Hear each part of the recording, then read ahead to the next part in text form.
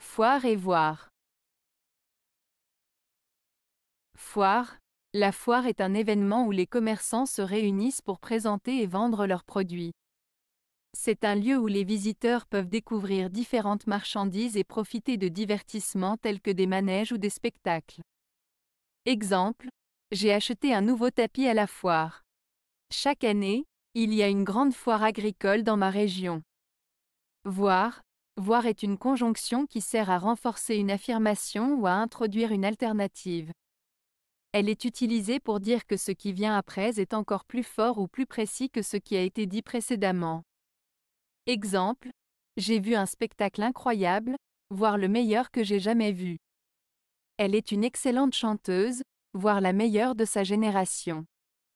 Différence, la principale différence entre foire et voir est leur sens et leur utilisation. Foire se réfère à un événement commercial où les commerçants présentent et vendent leurs produits, tandis que voir est une conjonction utilisée pour renforcer une affirmation ou introduire une alternative. Ils ne sont pas directement liés et ne peuvent pas être utilisés de manière interchangeable. En résumé, la foire est un événement commercial, tandis que voir est une conjonction utilisée pour renforcer une affirmation ou introduire une alternative.